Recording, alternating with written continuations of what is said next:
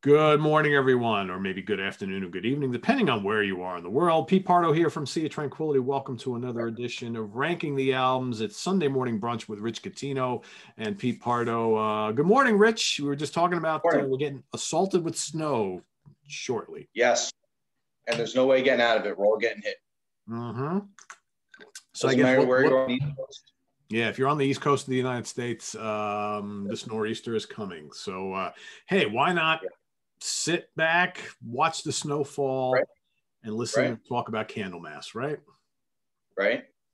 Who are from Sweden, so they got a lot of snow there. Yeah, they're used to that. They're used to that. And the epic yeah. doom kind of falls in line with the kind of gentle, quiet snow falling outside and everything right. kind of shutting down. And why not? Yeah. Um, so we got uh, all right. So here's the deal with Candlemass.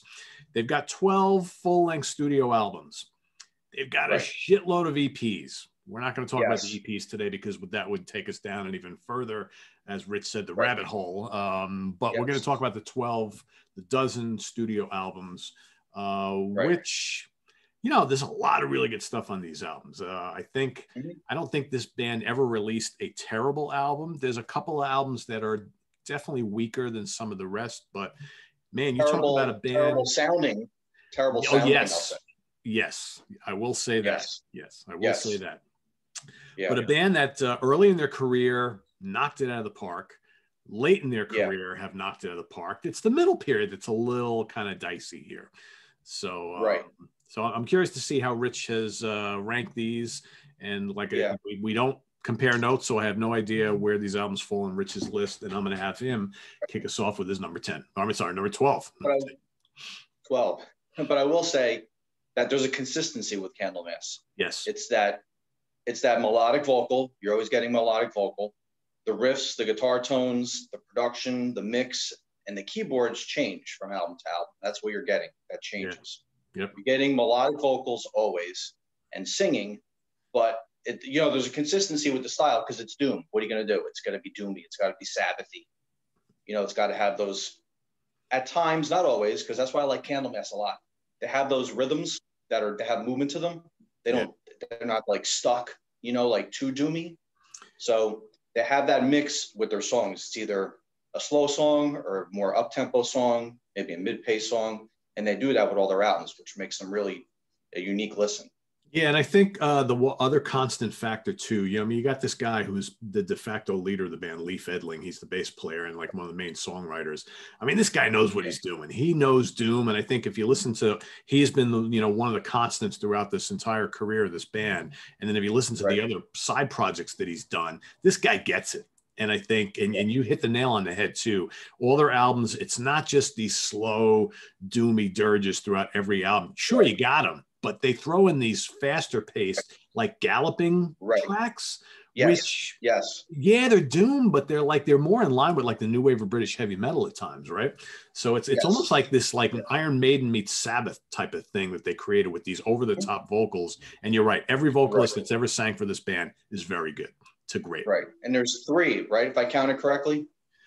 Uh, let's see. Well, if you go, because Goran Edman sang with them for a little bit, but he didn't appear on a studio album. I think he's on one. Not on album. So yeah, so it's Lundqvist, right. it's Messiah, it's uh, Robert right. Lowe, Rob uh, Lowe, Lundqvist again, and then you got the other guy. Uh, what is his name? I'm he's on uh, six. What's his name? Uh, Thomas Vikstrom. And then there's Bjorn Flodkvist. So I think that. So what are there? Five? I don't know, something like that. There's but a. I think that appears on album. I think that appears on album is that appears on albums is three. You have the original singer from Epicus, then you have Messiah up to Tales of Creation, then you have Chapter Six, which is the guy I just mentioned. What's his name again? Uh, I'm looking it up right now. Thomas Vikstrom. Yeah. yeah. And then the other guy who's after him that's, That's Bjorn Bjorn Flood Bjorn Flodkvist. Right. And then you're got Rob Lowe. No, yeah, Messiah was on Candlemass from 2005. And then with King of the Grey Islands, you got Rob Lowe. okay, so let's so let's count them. So we got Lang, uh, Johan Längqvist started and now is it back in the band. Messiah's two. Um, right. You got that uh, Thomas. What did we say? Thomas, Thomas six. So that's three. Four Great. is uh, Bjorn Flodkvist, and five Right. is uh, Robert Lowe. And Robert I, guess it, it it makes sense to look up. So did Goran Edman p- perform on any of the EPs? Because if not, then it's then it's four. Yeah. I don't know. All right. Well, I'll tell you what. While Edmund you're while you're are you on their Wikipedia page by any chance? what's that? Are you on their Wikipedia page by any chance? Because we could probably look that Yeah. up. Which album should I look at? Um, I don't know. Just uh, look at like the timeline. Uh, I guess. Hold on. I, I have that. Uh, I had it up as well. Um, former members. uh, Let's see. Um, oh, Mats not Goran Edman. Mats Levén. I was talking about. Mats Levén was on vocals from 2012 to 2018. And let me just see if he appeared on any of the. Um, doesn't seem like he was on an album. No, he wasn't on an album, so maybe he was on an EP. 2012 to 2018, you got okay, he was on. He was on the Death Thy Lover EP Thy and Lover? the House of Doom EP. So there you have it. okay. So Mats Okay, so he's not an official album, yeah, right? yeah, not an official studio he's album. not- yeah, yeah. I don't know why I was thinking Right, Goran so- Edman, unless Goran Edman did some live stuff with them. But yeah, Mats Mats Levén is the guy who was with them for. Because they were, uh, because they both sang on an Yngwie album. yeah, probably right. Yeah, Mats Mats is Another on, one of those Swedish guys that played with Yngwie, Yeah. and uh, yeah, exactly. Mats is on Facing the Animal. Yeah. which is a great album, and then Gorn is on Eclipse. I want to say right. Uh, I think so. Yeah, yeah, So the one after, I Yeah. think. Okay, so pretty good album. my 12, I'll go with uh, Dactylis Glomerata. Mer- Merata, However we say that, right? which came out in 97, I think, right? uh, or yeah, 97 or 98, something like that. 97. Yeah. So I didn't really enjoy this album. It's got a bad guitar tone and drums. It's like stoner, space rock, doomy. Like when you listen to the song Dust Flow, and um, I still I still see Black has spooky keys for the accent, and then you got Car Car Thago. Uh, there's more Candlemass, Yeah. more traditional Candlemass. It's tough pronouncing some of these words. I guess they're in Swedish. Karthago, yeah, I don't know. I don't know how they say that. Yeah, something possibly. that. Yeah, something. Um, and then you got abstract, but with a K, Abstrakt Sun, which is very distorted sounding too. Um, yeah, I don't really like this album very much. Not a good, not a good sound, not a good mix. Yeah, it was kind of a weird period for them, I think. Um, Yeah. I'm gonna get to that one in a second, but I'm gonna I'm gonna I had a hard time with my last two because they're I think they both have similar problems, even though neither album really sounds alike. I'm gonna go with From the 13th Sun, which is the next album after that one from '99. Right. So this is the Right. second album with uh, Bjorn Flodkvist on vocals. Um, Right. And it's yeah, it's weird. It's like this kind of like doomy stoner metal space rocky thing, right? Like Yes. there's this, but you know what? I think what it comes down to, and especially it's especially even more evident on the one you just named. I mean, Yeah. Candlemass was defunct, right? They were they weren't in existence at the time, and Right. Leif Edling was putting together this new band called Abstract Algebra, and that's the kind of music right. he wanted to do. But the record Uh-huh. label were like, you know, well, it'd be easier for us to sell it as a Candlemass album. So meanwhile, he's got all these other guys who were not members of Candlemass prior, and Yeah. they're putting out these two albums with under the Candlemass banner, and it's doesn't Mhm. really. I mean, it, it sounds like Candlemass to an extent, but not. Um, Yeah. And I'll I'll get to the one you just mentioned in a minute, but I'm I'm gonna go with from the 13th Sun. And this it's weird on this album. It's almost like they decided, all right, we're gonna kind of do a tribute to the very first Black Sabbath album. Mhm. Um, and you know, it kind of starts off that way. You know, the first song "Tot" is got the you know the the dong and and the and the the rain and the wind and all this kind of stuff. And Yes. it sounds, but it's like really, really raw. I mean, the production on this album is like Yeah.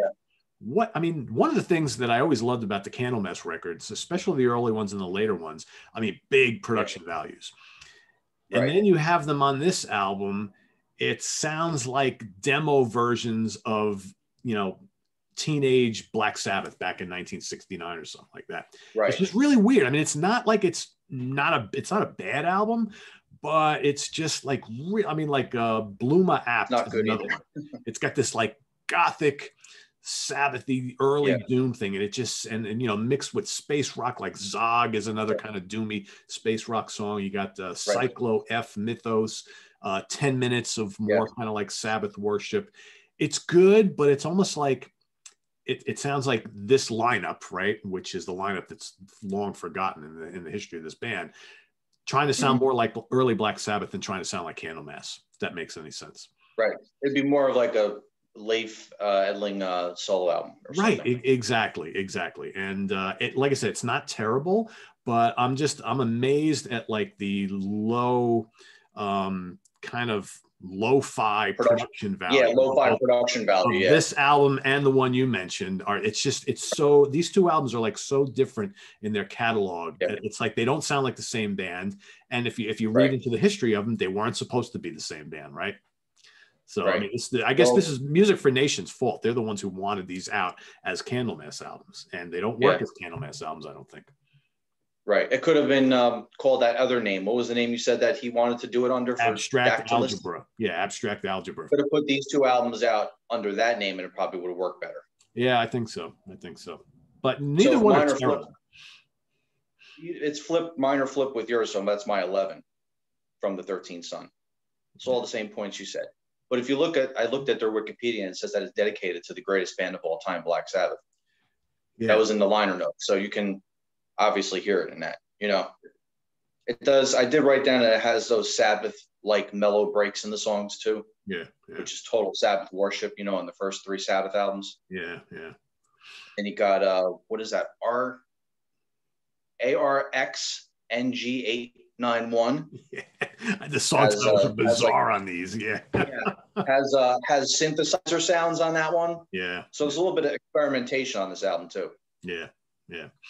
outside of the it's- usual for. It's not terrible. Um, it's just it's just weird, and uh, Yeah, And my number 11 is. Dactylis Glomerata. Obviously, we both flip flop these, but both, I think they're both like on the same pain. You know, what's interesting about this album is it's got Michael Amott is on this album from, Mhm. uh, you know, Arch Enemy and Arch Spiritual Enemy. Beggars. Yeah. And you have to wonder. So this is 98. I'm trying to think when was the first Spiritual Beggars album? I'm wondering if Michael got the bug to do Spiritual Beggars after doing this album, or did he already have that going? I don't remember exactly when Spiritual Beggars' Mhm. first album came out, but anyway, uh, but yeah, this is more. It, it's it's like this weird space rock stoner album. Some good stuff on there, but like a couple songs almost sound like Hawkwind. I love Hmm, Hawkwind, but think- do I want Candlemass to sound like Hawkwind? Yeah, you know, Right. really. it's no. probably those keyboards maybe that that's Yeah, there's like these right? synths going on here, and this like really kind of weird, kind of spacey atmosphere, which uh, again I don't dislike, um, but it just it just doesn't sound like a Candlemass album to me. Yeah. So um, True. yeah, the- these two albums are like a weird anomaly in anomaly in this cat- catalog because I think once you get past these two, everything else is pretty damn good to freaking great, right? I mean that's Yeah. how it goes from here. So Yeah, all right, now that we got those two out of the way, and so there's the top ten. basically, right? Yeah. Yeah. Uh, so I'll start mine off with uh, King of the Gray Islands. Cool title. They got some really good titles too They do. for Doom, They do. right? So this is uh, thanks. There you go. 2007, and this is the first one with Rob Lowe, who I really I liked him in the band. He's a hell of a three singer. albums. I thought he, Yeah. yeah, great singer. Who he came from um another band. What was that band called? The, the other Doom band? Um, Solitude Aeturnus. They're great. Solitude Aeturnus. Yes. I would say anybody who's watching this who likes Candlemass but has never listened to Solitude Aeturnus, Right. You don't know what you're missing. I mean, there it's Yeah. it's almost identical type music, just really good, epic sounding Right. melodic doom, just crushing stuff. So, and they don't have a lot of albums. I think they got like maybe a handful of albums. Yeah. So this is two years after the Candlemass self-titled one, when Yeah. Messiah came back and then he left. Yeah. Um, so this I thought was a great uh, continuation. You know, pick up where that left off. You got uh, Emperor of the Void after a little intro, which is really heavy and aggressive to kick off the album. Um, you got 70s classic rock keyboard sound on Devil Seed. Do you hear that also? Yeah, they started using a little bit of Hammond organ uh, from time to time in the latter Yeah. part of their career, which uh, you know I don't have an issue with because you know Leif is a No, big it's cool. fan of, of Purple and Heep and, and those type of bands. Yeah. So, you know, makes sense. That's cool. And like I said earlier, it's guitar tones, keyboards, and the mix and the production, which separates a lot of these albums. You know, you're getting different keyboard sounds, Yeah. which is nice. You know, so they all all don't sound the same. Yeah, exactly. You know, aside from getting your aside from getting your doomy riffs, like I said earlier. Yeah. So uh, what else? You got uh, Demonia Six and Destroyer, which have ominous riffs. I wrote that down too. And uh, what's the other one? Clear Sight is a class has a classic romp. I thought. Yeah. Classic Candlemass movement to it. Yeah. So yeah, it's an enjoyable album. I like it quite a bit. Um, I think it, it's worth mentioning that uh, Leif, I mean, the guy's busy as all hell all the time, but he started up this other band a number of years ago called Avatarium, who were on Nuclear Blast Records. And that's like, it's kind of like an, a Candlemass offshoot, but with female vocals and a little Right. more of like a, like a kind of like epic metal and Right. folk and prog element going to Right. it. And there's a big like rainbow rising feel on those albums with the keyboard. So I think that's kind of also where it kind of bleeds into the music of Candlemass too in recent years, you know, which not necessarily a bad thing. So Yeah. All right. My number 10, I'm going to go to 1992's chapter six, which, uh, you know, Messiah is gone already by this point in time. That classic lineup of the band didn't actually last too long when you really look at the number of years. Uh, and this is the one and only album with uh, Thomas Vikstrom on lead vocals. I don't know where he came from, uh, but he's got a really good voice. He reminds me, you know, it's funny. Messiah leaves, they bring in this guy, and the album is still pretty doomy, but it takes on more of like a traditional metal sound to me. And the guy's vocals remind me a little bit of like Zak Stevens from Savatage and Circle II Circle, with a little bit of uh, Jeff Scott Soto, like the way Jeff sounded on those early Yngwie albums. So it kind of changes the flavor of the music a little bit. I think it's there's really not a lot of slower stuff on here. It's more of like kind of fast paced uh, Wow. classic metal and doom, and it's really good. I mean, you know, you got Right. Which uh, really heavy song, and there's that Hammond organ we talked about, which shows up in that song. Uh, you got Water Witch, Right. really heavy, but has almost like this weird kind of psychedelic element to it, which I kind of dig. Uh, Psalms for the Dead is good. Mhm. Uh, the Sound of Dying Demons, Blackest Time, really, really good album. I'm sorry, I'm, I'm reading the wrong freaking song title. Sorry. Uh. I, all right, I totally screwed that one up. All right, let's let's back it up. This is what happens when you have all these notes and everything starts bleeding into each other. All right, so Right. I got the song titles mixed up here. Julie Laughs No More is the song I'm talking about. Um, Where the Runes Still Right. Speak, really, really good. Uh, Ebony Throne, it's got some great Lars Johansson, or Johansson, I should say correctly, guitar solos. Uh, like I said, I think it's more of a straightforward album, but Mm. it's okay, right? And it, uh, but it's funny because this, you know, Messiah left the band. I remember at the time, all of us metal fans were so disappointed that he wasn't in the band anymore that we all ignored this album. It's almost Right. like, you know, and you hear it a lot these days. It's like, well, no such and such in the band. The band doesn't exist for me, right?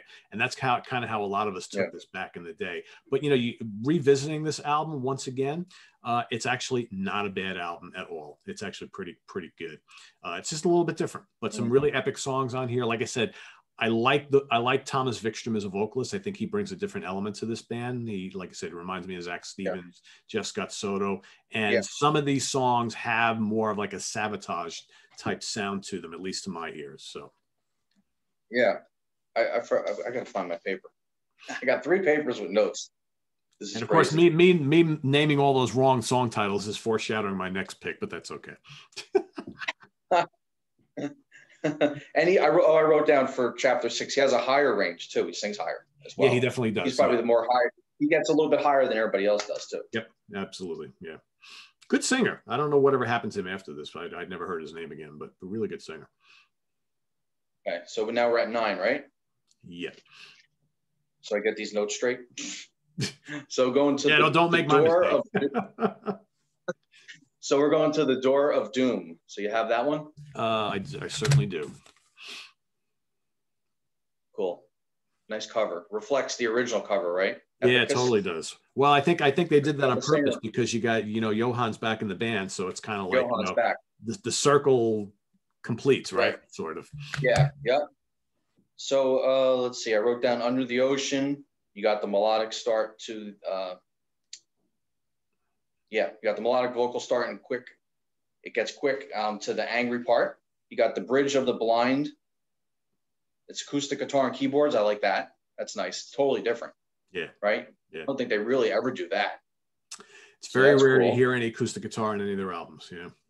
Right. So that's nice. Nice change. Let's see what else. You got a Death's Wheel, which has a retro 70s riff, I think, to that one. And Black Trinity is more distorted, a little heavier. Yeah. So a little bit of change, a little bit of change in the guitar sound on those two songs. So yeah, it's a solid return. Eight songs with him back. I like it. Yeah. That one song really adds a good dimension to it. The um the, the acoustic song, Bridge of the Blind. Yeah. Yeah. I, uh, I listened to that album a ton when it first came out in 2019. It was one of my, I think it was in my top 10 of the year. Uh, I really enjoyed it a lot. So I'll talk about that in a couple of minutes, I guess. Right. All right. So now let's get back to the one I was talking about before that at a turn here. So Psalms for the Dead from 2012. Uh, Right. Ri- Rich held it up. Rich, Rich automatically grabbed these. He started hearing me name the uh, the song titles and was like, "All right, what's what's he Right. talking here?" So yeah, so this is the last album with Robert Lowe. Mm-hmm. Um, and you know, at the time, so this was what nine years ago. This was originally intended to be the final Candlemass album. Uh, they made some statements early on, which they later kind of retracted, but uh, you know that would be the last album till the Mm. most recent one, 2019. So that's seven years, a long time in Right. between records.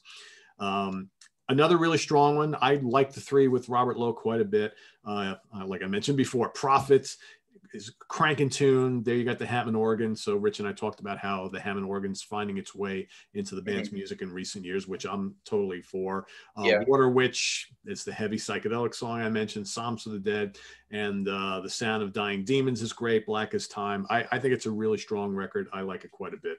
Um, Yeah. I, I, all their recent stuff I think are, is very very good. Uh huh. I, I wrote down uh, Gothic keyboard accents too, Yeah, as well. yeah, it works. All right, so we're at eight, right? Number eight. So I'm going to chapter six for eight. Uh, see, I got to go to the track listing. So that's with Thomas Vikstrom. And hold on. Do you have that? You don't have that album on you? No, I don't. I never had a physical of that. Yeah, I got to get that one. So it's not as doomy, I don't think, Yeah, on the sound on this album. You know, it's still doomy, but not as doomy. So the same songs you talked about too. It's got um like uh, Julia laughs no more, cleaner lead guitar tone too. It's not as heavy, not as doomy. Um, and you got traditional metal lead guitar accents in the songs too. Yep. You know, a little more shredding going on. Um, what else did I write down? Where the runes still speak, the singer sounds like Tony Martin yeah. at times. I Yeah. thought. He's the other guy I was going to mention who kind of he hits uh, on his tone a little bit. Yeah. Yeah.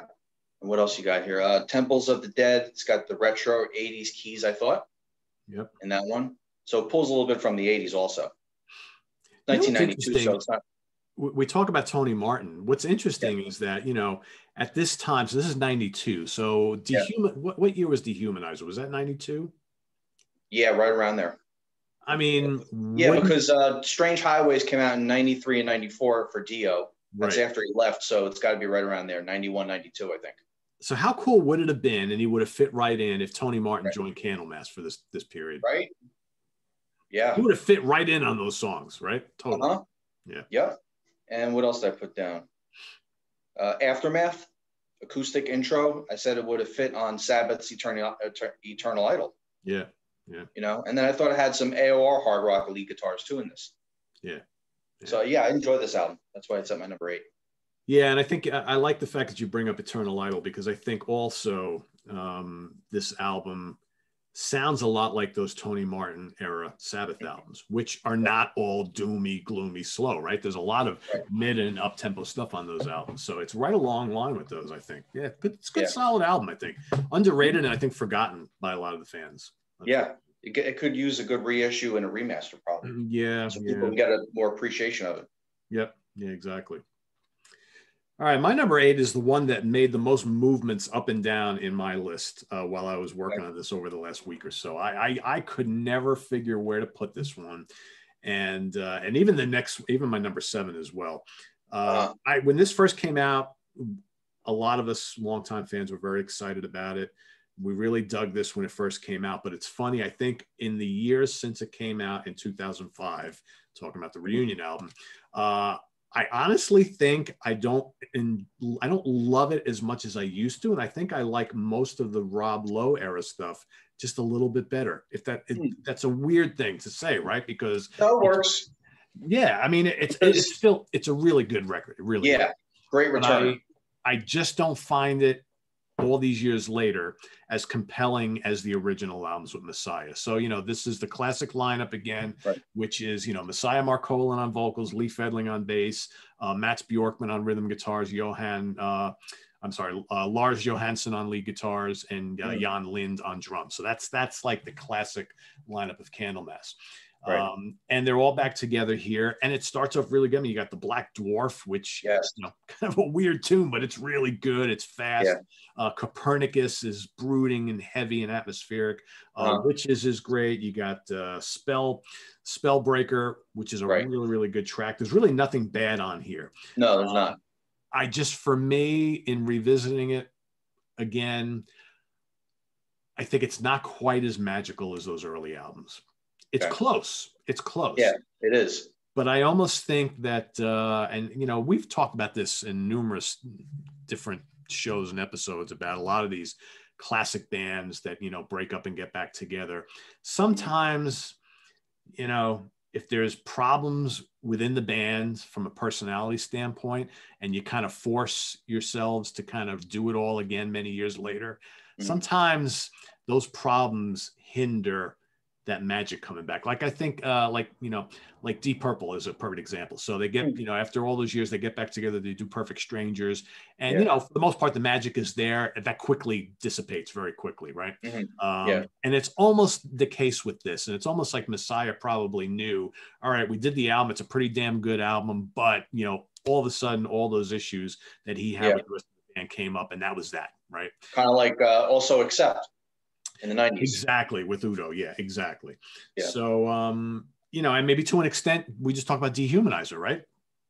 There as well. Yeah. Yeah. Um, so, you know, not saying that uh, this will never happen again, although I've, mm-hmm. I've heard rumblings within the Candlemass camp that they're never getting back together with Messiah again, but who the hell knows? Yeah. Mm-hmm. But um, but I think it's a really strong album. I just I originally had this higher up in my list, and then the more I started going through the Rob Lowe era albums, I was like, you know what? I kind of enjoy those a little yeah. bit more. Not much, but a little bit more. Yeah. But still, really, really good stuff. Really good stuff. Like, mm-hmm. One of those great like reunion albums I think that we've gotten in the last uh, 25 yeah. years. Yep. All right, so we're at seven, right? Yep. All right, going with uh, Psalms of the Dead with Rob Lowe. So it's the last one, like you said. So like we talked about before with the uh, kind of like the purple organ sounds going on in there, the gothic keyboards, a little bit of both. They mix it up.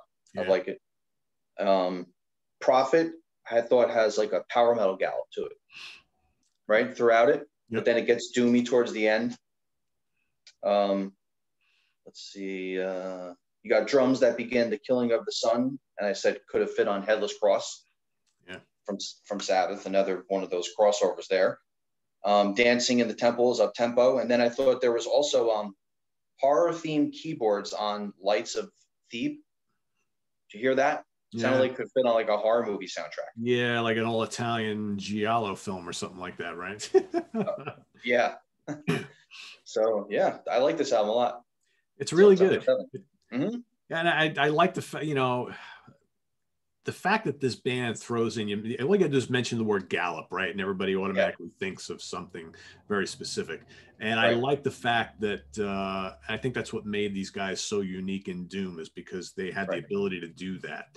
Yes. Whereas, you know, you, you'll never mistake Candlemass for like St. Vitus right or trouble. right? or, or pentagram. I mean it's and and those are great bands uh-huh. but that's what made these guys always so different and i think you you kind right. of hit the nail on the head. There's that bridge between doom and power metal or neoclassical metal that was always right. kind of there with these right. guys. and traditional heavy metal and the new wave of british heavy metal like on the first four albums. Yeah yeah. Yep. It's a good mix. It, it separates them from the batch. It totally does. It totally does All right, my num- so as I said before, my number seven is another one that I had a really hard time with where to put it on this damn list. And uh, and this is I don't have a physical copy Uh-huh. of this. I had it on LP back in the day, but I never uh, replaced it with CD. So I'm gonna put the debut Epicus Doomicus Metallicus at number seven. Okay, I don't have it on me either. I ordered, like I told you earlier, I ordered a few of these and tried to get them for the show, Yeah, remasters, reissues with some bonus tracks, and they just didn't come on time. yeah, I'm I'm some of amazed. are- that they're hard. Yeah, they, they went out of print a lot. some of them are hard to find when you want to get them. You know, Yeah. they're either out of print or somebody doesn't have them, or they're expensive. Yeah. I had them all up until uh, Tales of Creation on LP back in the day, and then I sold my my uh, record collection back in the mid '90s, and I only ever replaced one of those early ones on Right. CD. And I, I but I could have sworn I got I got more of them. So when I was going through and trying to look for all the stuff, I'm like, how do I not have some of these? And I'm like, like you, I'm like, I need to get some of these because they're just this is like mandatory stuff here. So, but yeah, Epicus Doomicus Metallicus, for all of you who wonder what the hell that means, it means epic doom metal. Um, and this is their debut album. Uh, at the time, it was the only appearance of Johan Langquist on vocals. They basically got him in for the session to do the album, but never invited him to actually join the band, which is kind of weird. And how strange is that they call upon him all those years later for, you know, the Door to Doom album. Right. And uh, he finally says, yes, I'll join the band. And I think he sounds even better on the new album than he does on the first album. The first album is is classic. It's mostly uh, less songs, longer tunes. You got Solitude, uh, Demons Gate, Crystal Ball, Under the Oak, all classic Candlemass tunes. Yes. It's just epic riff after epic riff after epic riff. Um, I always liked the debut. So But for me, everything clicked with the second album. Mhm. It's another one of those, you know, uh, I, I did a show with Martin Popoff not long ago about those, you know, debut albums that where the where they're decent, but they pale in comparison to the second album. And I totally like forgot about this one because I for me, this is a perfect example of that of a very solid debut, but the second album just blows it out of the water. So, Yeah, I feel that way too. Yeah. All right, back to you. Number six. We're at six. So let me see. I'm getting my notes straight. Six is Ancient Dreams for me. So let's see. That's the third album, Yeah. right? Yep. Third album. So the second one, Messiah. Got to get to the track listing here. All right. So uh, you got the Mirror Mirror, Cry from the Crypt, um, Incarnation of Evil. You got the spoken word in the beginning, which is kind of spooky. I like the artwork too. The painting is great. Yeah. very cool painting. Um, let's see what else. Well, Incarnation, I thought, and the title track, the guitar and the lead vocal follow each other a lot, which Candlemass does that a lot. how the vocal do. follows the, the riff that's going on. Um, but it doesn't really go anywhere, I thought. I thought those two songs kind of drag. A lot of long seems- tracks on this album. Yeah. Yeah. And it just seems like it doesn't go anywhere. It doesn't hit like your chorus that, that you're looking for. Uh, but the rest of the album, uh, you know, I like it. It's good. It's solid.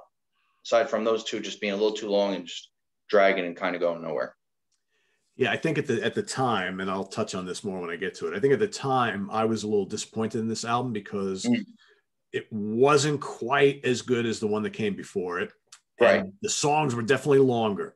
Mhm. And at the time, I, I've changed my tune in recent years, but at the time, those really long songs, I was kind of like, oh, come on, get to the point here already, you know? It's uh, incarnate incarnation of evil, and the title track are seven minutes long. So that's probably why I felt that they just, they just go nowhere. They drag. Yeah.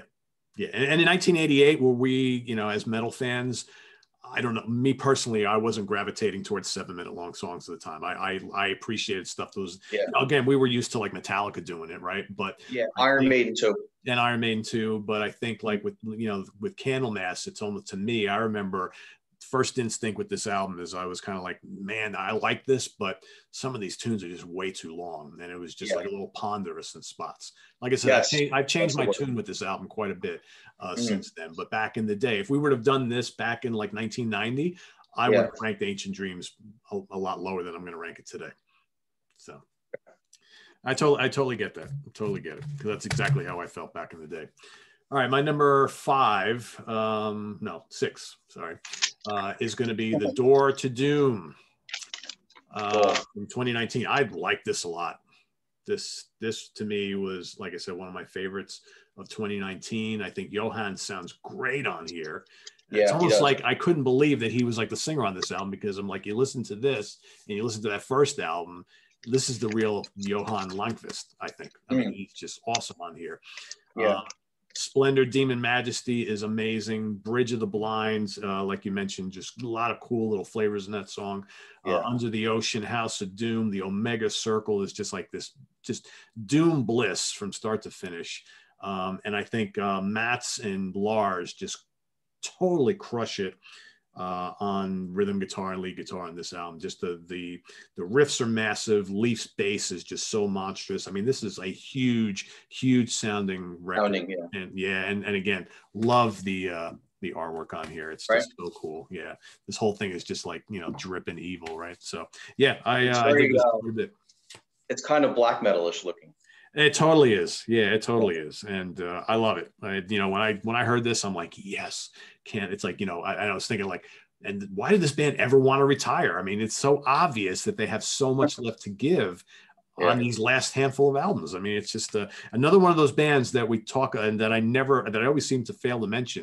You know, we talk about these like classic bands from the 80s or the 70s who are like almost like they're getting better with age. And we talk about, mm. you know, Saxon and Accept and Priest and all these other bands. We mm. always seem to forget these guys. I mean, right. these guys have been killing it for the last decade. Probably because Doom is not a big genre. That I guess. I guess. Yeah. Yeah. There's a you know limited number of bands that people go to, and it's not it doesn't bro- uh, branch out. It's not as broad as like traditional heavy metal or what sometimes thrash bands can do, or progressive or power metal. You know, yeah, it's a little more it's a little more limited. yeah, I guess, but I, I, think you know Candlemass needs to be uh, mentioned. You know when we're talking about bands like Overkill and Testament, who just True. you know just totally cranking it out uh, here and there in the latter stages of their career. Yeah, Okay, we're at the top five, right? Top five, yeah. All right. So my five is Tales of Creation from 1989. So if you get, it depends what CD version you get. I haven't gotten the remaster yet, but if you get the the one on Metal Blade, it breaks up that one song, the instrumental, into all these parts. Did you ever see that? Was it the original LP like that too? I think I, am pretty sure it was. I don't remember. Yeah, it's been a long is, time. Um, that's the instrumental. Um, how's it called? Unfathomed Tower. Yeah. So it's all chopped up into part one up to part. I don't know what the hell it is. How it's written here, I can't see it, but it's broken up into all these parts. So you think it's more songs, but it's just the instrumental. Yeah. Broken up. So you have um, 11 songs.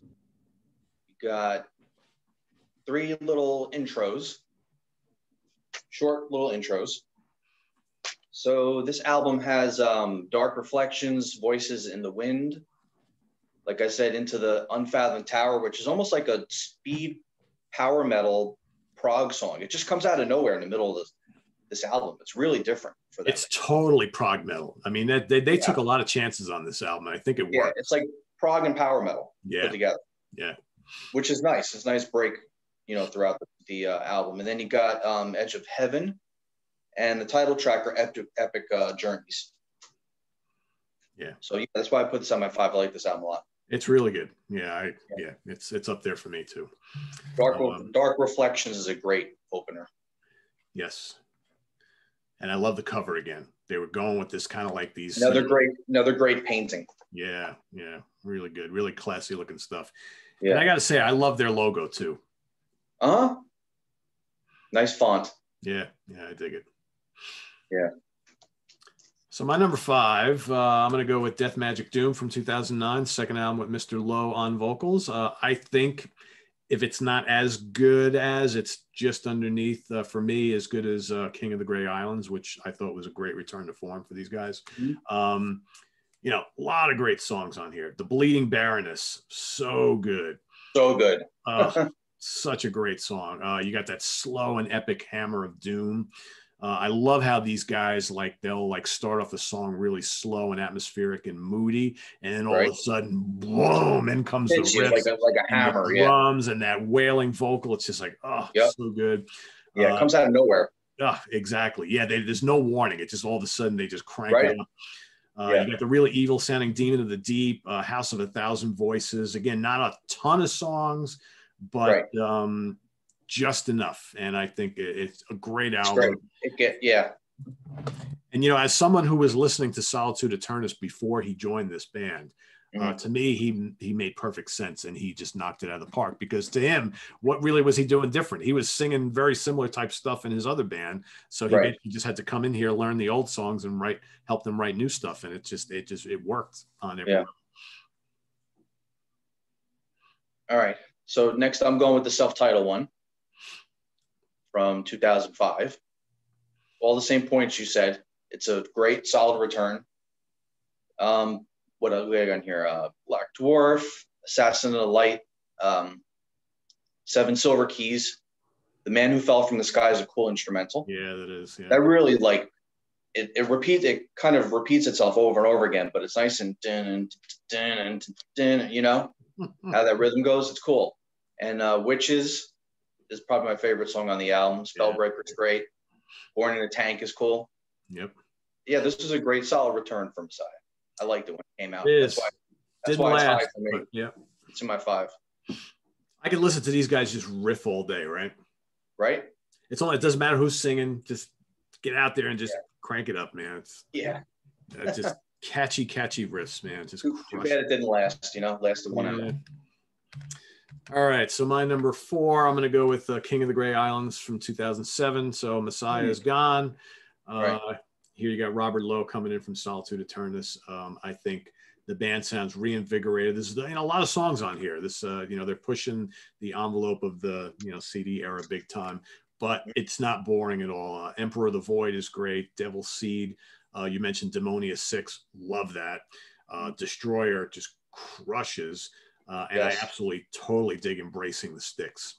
Great album closer for them. Uh, for me, not a bad song on this album. I think Robert sings his ass off on here. It's so heavy. And, uh, you know, again, if you go back in time, you know, a lot, we were all bummed when Messiah flew the coop once again.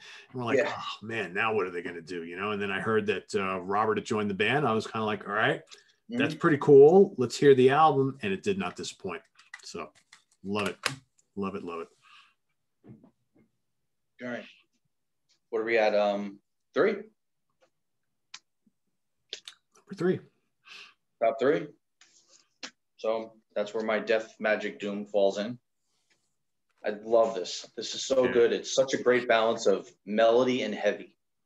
He's such a great singer. Some of my favorite songs from um, Candlemaster on this that are always in my playlists. Um, Hammer of Doom. I love the Bleeding Ban- uh, Baroness. Demon of the Deep. And the two closers. One of the albums. One of the few times like an album has two great closers back to back. You got Clouds of Dementia and My Funeral Dreams. I love those two. The way they flow, you know, they're catchy, but they're heavy and they're hooky, and you can sing it. Great, excellent closers. I love this album. Yeah, it's good. Yeah, not a bad one on it. Yeah, I mean, you those three albums with him on vocals are, are all just spectacular. And I actually saw them for this tour.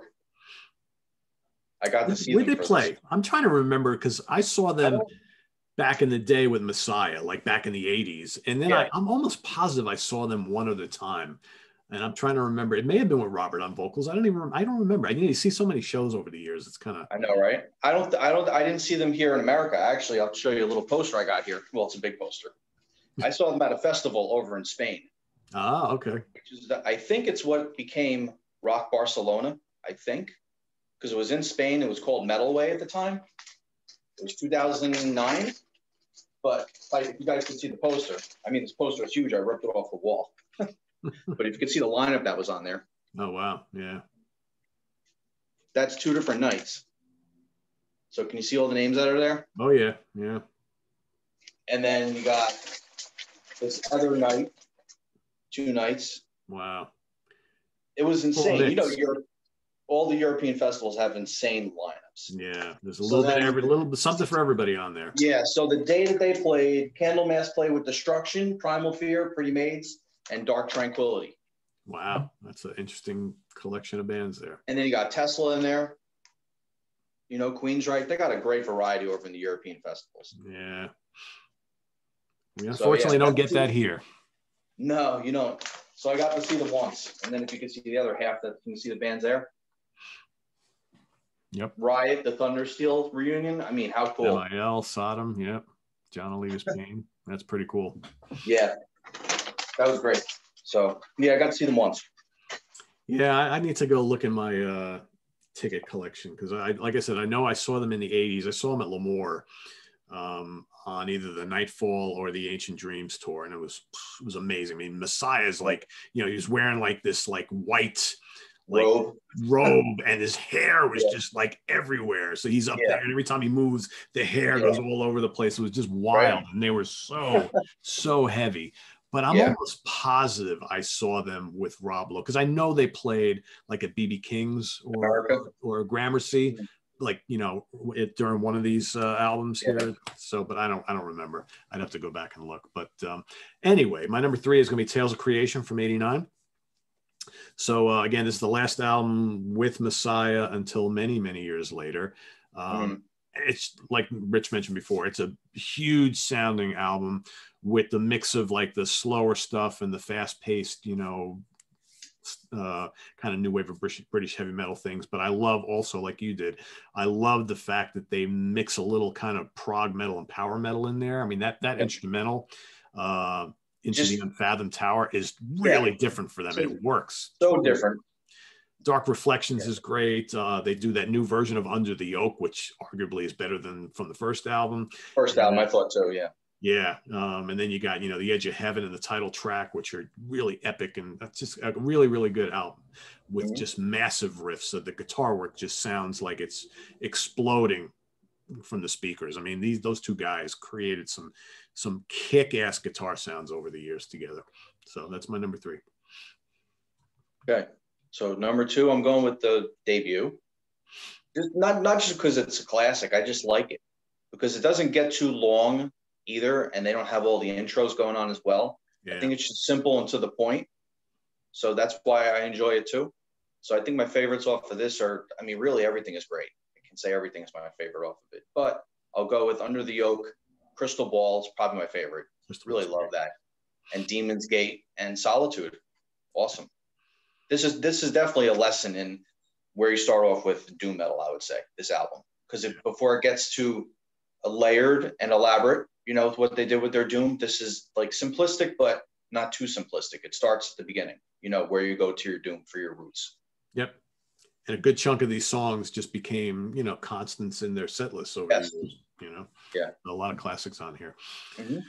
All right, my number two, and again, uh, I hinted at it before. Uh, if you would, if we would have had this conversation, you know, 30 years ago, I wouldn't rank this high. But uh, Ancient Dreams for me over the years has really kind of mm-hmm. solidified itself as one of my favorites, and I have grown to love the longer tracks. Whereas back in the day, I was kind of like, all right, this album's kind of boring me a little. But there's some I mean, you know, you got the awesome Mirror Mirror. I mean, that's a total a great opener. Love that. Mm-hmm. Uh, you got uh, the Galloping a Cry from the Crypt. Great song. Yep, Darkness in Paradise is crushing, but it's really memorable and catchy. Um, great vocals from Messiah on this album. Mm-hmm. Uh, and then I love Bearer of Pain. That's got just such a memorable chorus and then you got the bells of Acheron, which is kind of you know kind of fasty, a little speedy for these guys. So they they kind of mixed it up here on this album, which uh, I think I've really grown to appreciate. And you know that painting on the front is just absolutely masterful. So uh, that's my yeah. number two. I think I know what our, both our number ones is. Right? Which again, we're we have the same brain again. We've done this a few times. We have, yeah. We Especially have. with our five, you know, you could just shuffle our five on several countdowns, and we have all the same stuff. Yeah, basically. So uh, there we have. Another, uh, beautiful painting beautiful painting and it's it's funny because it's it's beautiful there's not much going on here but there doesn't need to be it's right just uh i remember it's buying this it's yeah, very haunting looking and there's uh I mean, these guys are pretty young back in the day. In fact, I think if I remember yeah. correctly, so this was what the '87, the Nightfall album came out. So I don't, I think these guys were either my age or younger when this album came out. So '87, uh, I was I was 21, and uh, they were right about the same age. So you know, you see this, and they, they were just kids like all of us, right? Yeah. And uh, is it that's the thinnest I think that Messiah has ever been. I'm but, trying to find the artist. I remember looking him up and I saw him. He's a famous artist, actually. That, the, yeah, that I'm trying to artwork and layout by Mickey Martinson. It's based off of based on Thomas Cole's painting, The Voyage of Life. Yeah. And so you can see Messiah here with the black robe, okay, and the yep. big hair. This is basically what they looked like at the time if you went to see them live. Um, yeah, just that's my number one too. I mean, was there ever a question, right? I mean, it's just right. I think is... yeah, and I, I love to Um, there's one, two, there's four instrumentals. I love the way that bridges songs and it begins things and it ends the album with black candles it makes it like a complete listening experience. I think. Yeah. That's why it's so good as well. You have to wonder though, should they have done that on subsequent albums though? You know, because I think sometimes right. they did that a little much, but it uh-huh. really works on this album. It does. This album I wrote down. This is music for a candle mass, using a Ouija board, rituals, funerals, witch burnings, and seances. Yeah, basically. Right. Yeah. That's how this sounds with those intros and instrumentals and just the way the songs flow. And you got um, the Well of Souls on here at the gallows end and Bewitched are just so great. Yeah. Dark, great. Dark of the Veils, of, Veils of, Death. Yeah. Jesus. Yep. Seven minute long, Ugh. which has a nice movement to it too. Yeah. These these songs also, if they're slow, they don't stay slow. They right. change tempos a little bit too, which is great about this album as well. Yeah. So this really was say, like it's like the blueprint. Monstrous riffs are on this album. Yeah. And the guitar solos from Lars are like explosive. I mean, because he was, uh, I, I, had read back in the day that he was uh, either friends with or he was an admirer of Yngwie, right? So there's kind of like this neoclassical right. he does on there. Yeah. Right. Uh, right. But it's, but it's purposeful. It's not like it's just random. Absolutely. It works. It works for the song, which is very important. Yeah. Yeah. Yeah. Yeah. I mean, as a as a huge Sabbath fan, at the time and still am. Um, yeah. When I heard this album, I like completely lost my shit. Yeah, I remember it too, like that. Thing ever. I, the first time I heard yeah. this album, I was like, "Holy!" And nobody was doing this at the time. This is what year is this one? This 87. is '87. So, you know, you had thrash, you had traditional metal, you had glam and hair metal and hard rock metal, and yeah, you know, a couple prog bands, but not too many really. Yeah, you know, like Fates Warning and Queensryche. But other than that, who was on MTV that was Doom? No, Candlemass and Candlemass and Trouble. Yeah, that's, it. it. And the only other band that you could even remotely come that can come close to this, but they weren't a doom band was Savatage. I mean, Hall of the Mountain King came out in '87 too. So just just imagine, yeah. I, I in '87 the Whitesnake '87 album, Hall of the Mountain right. King, and this album I listened to constantly. Those were great like, call. Yes, the soundtrack to 1987 for me. Those are three big ones. Absolutely. Yeah. It's amazing the power of the guitar riff all over all right. three of them, right? Yeah. Yes, indeedy. Well, there you have it, everybody. Uh, a dozen Candlemass albums. You know, I mean, we could we could have made a four-hour show to talk about all the various EPs and things that they have, and there's a lot of right. them. But uh, some really really strong albums. I mean, you know, we we we mm-hmm. talked about two of them being definitely the weakest of the crop, but they're not terrible either. Um, but man, the other ten, yeah, solid. Yeah, you know. Yep. And if the Rob Lowe era is underappreciated for you, you got to rediscover because it's so good. Yeah. Yeah, and I need to I need to circle back with what's been going on with him because it's like you know you would you would assume that once he left Candlemass, he would go back and resurrect Solitude Aeturnus. But I don't mm. know hmm. if that if that ever happened or not. I need to check that out because that's a really yeah, I don't know. So yeah. Anyway, there you have it, everybody. Uh, ranking the albums of Candlemass. So feel free to do the same in the comments below. Give us uh, your top 12, your top 10, your top five, whatever you want to do. Uh, remember, there's no right or wrong answer here. We all hear these albums differently. I think most of us can agree that uh, a good chunk of these albums are pretty damn good to even spectacular. So yeah. Uh, there you have it. Uh, Rich, you want to talk about some plug, give some plugs and things like that? Um, where else they can sure. find Yeah. So I write for Metal Asylum Brave Words Magazine, and the Metal Hall of Fame. And I do your uh, Monsters Den as well, which we yes, have one coming up, which we got one coming up in a week or two. That's right. So in about a week, uh, Rich and myself, and of course Chris Allo, will be giving you guys another Monsters Den episode, and it's uh, by request. We're going to be doing the when nature attacks, when animals attack type of things. Yeah. So those classic horror films where you get some, you know, big animal or, or small animal that right. uh, wreaks havoc on mankind. So we'll be kind of doing that uh, over the next week. So uh, stay yeah. tuned for that and a lot more. And uh, for Rich Catino, I am Pete Pardo. This is on the web at www.seatranquility.org. We're on Facebook. We're on Twitter. Of course, we're here on YouTube. All the damn time. That's right. There we go. Thanks, guys. Cheers. As I drink coffee out of my and for those of you on the East Coast, uh, stay safe Yeah, the, snowstorm, and uh, we'll see you guys all real soon. Take care. Thanks.